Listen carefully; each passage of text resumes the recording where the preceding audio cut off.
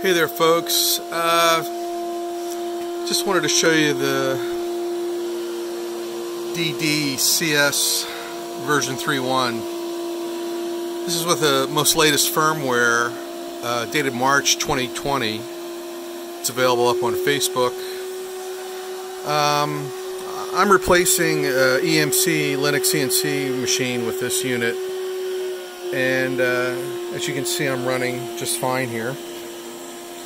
Haven't seen any trouble yet. I had a little bit of trouble with homing and uh,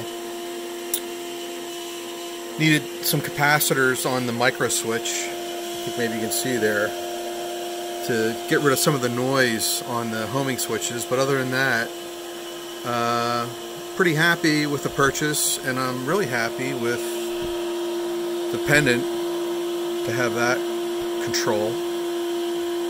And I hadn't seen any other videos of people actually running this thing, so I wanted to uh, post this up on YouTube and give a positive review for it. I think I paid about $195 for the whole setup uh, off of AliExpress.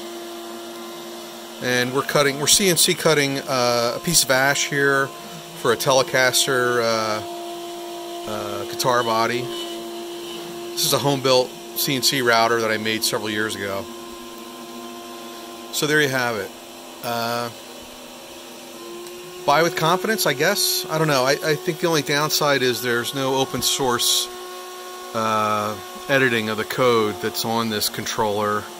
And uh, I think that's what I miss about EMC.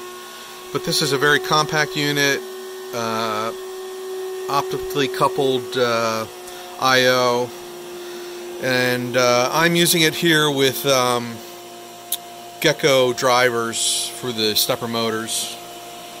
Um, so that's it. Take care. We'll see you. Bye.